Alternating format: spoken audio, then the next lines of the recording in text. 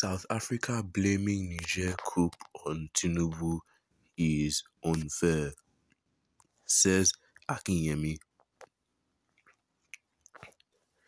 Professor Bolaji Akinyemi, former Minister of Foreign Affairs, has blamed South Africa for attributing the coup in Niger to the illegitimacy of President Bola Tinubu's government.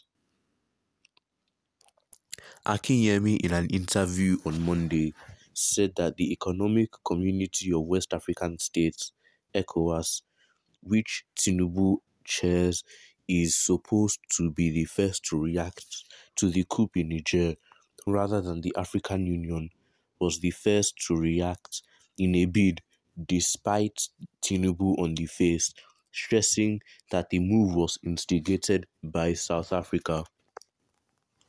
The former minister said African Union (AU) and ECOWAS seem to be on the same page.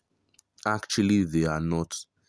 Under the tradition of the African Unit, ECOWAS is supposed to take the lead in confronting the issue in Niger and then the AU will follow up. Instead, the African Union took the lead in responding to the issue in Niger. Why was it so? This was something masterminded by South Africa to spite President Tinubu in the face. It was an anti-Tinubu action by the African Union. Why do I say that South Africa is behind it? There is a video going around which shows an analysis by a South African television station which blamed Tinubu for the coup in Niger. That is because President Tinubu is illegitimate because his election is contentious that the coup had happened. The AU quickly got quickly to the bridge in order to spite President Tinubu in the face. ECOWAS is now imposing a seven-day limit for a reaction, while the African Union gave them 15 days, creating a situation, if they like, the Niger regime can now exploit by saying it will listen to AU rather than ECOWAS. The problem in ECOWAS is not being posed by the Western countries, it is being posed by the African Union, instigated by South Africa. Now, we have decisions taken by ECOWAS yesterday, while AU has already taken a decision for 15 days to have a reaction, he said. Well, what are your opinions on this? Make sure to leave them in the comments down below and don't forget to like and subscribe and don't forget to share this video with your family and friends as I check out what other people have to say about this. That's the truth and nothing but the truth, my brother. In Nigeria, the truth is bitter.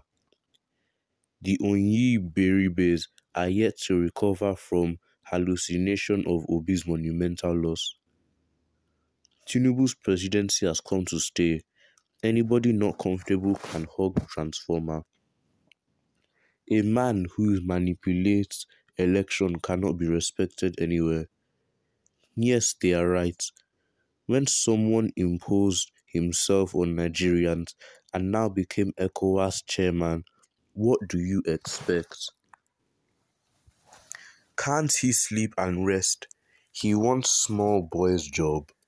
Tinubu has no moral right to say anything about a legitimate government. Mr. Envy, with Tinubu in the saddle, South Africa has taken a back seat. Nigeria now leads Africa.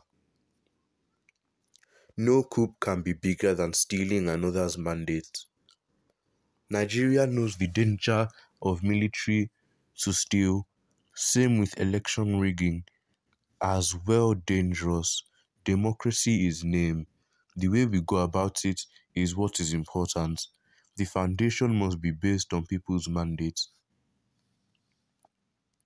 Nothing unfair in the attitude of most African leaders. They almost always are wicked, greedy, and rogue, heartless towards their own people.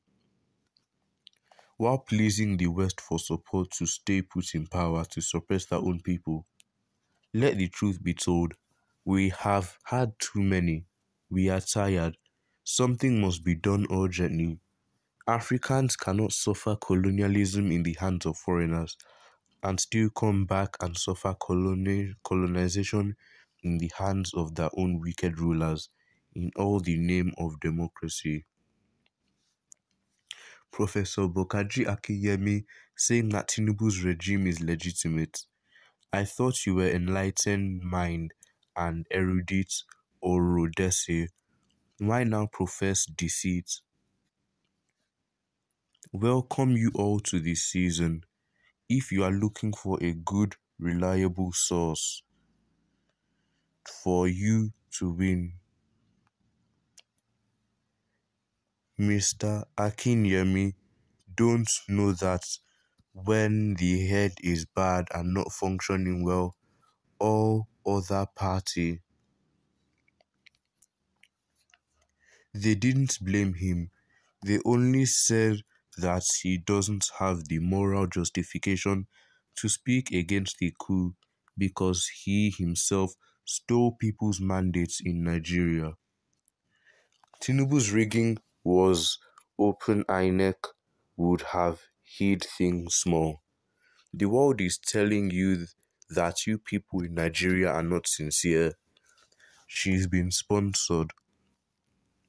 It beats my imagination why Bolaji is so in the forefront of fighting for illegitimate government of Bola Ahmed APC. Professor, you had so much respect. Had. Omoluabi is the problem. The problem I am seeing everyone since is this hatred for a nation of people which I belong to.